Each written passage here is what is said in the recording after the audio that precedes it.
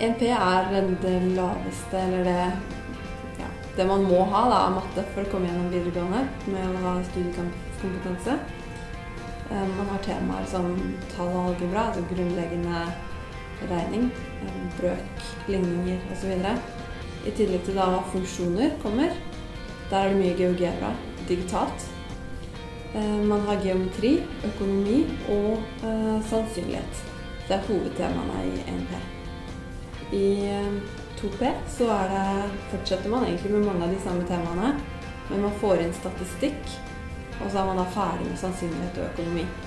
Vi prøver å jobbe litt variert, men en del blir jo nødvendigvis regning. Skal man få til matte, så trenger man mengdetrening. Um, en del forelesning, en del tid til egne oppgaver, og innimellom noen sånn praktiske oppgaver som kan relateres til pensum faget passer for alle, for så vidt. Fordi skal man ha studiekompetanse, så må man ha et mattefag, og det er det laveste nivået da man kan velge, eller minimumskravet. Eh, jeg valgte faget fordi jeg er ikke sånn altfor sterk i matte. Og jeg fant ut at jeg hadde lyst til å prioritere andre fag fremfor matematikk. Eh, det er jo et veldig lett fag, og det skal ikke sånn altfor mye arbeid til for å få en god karakter.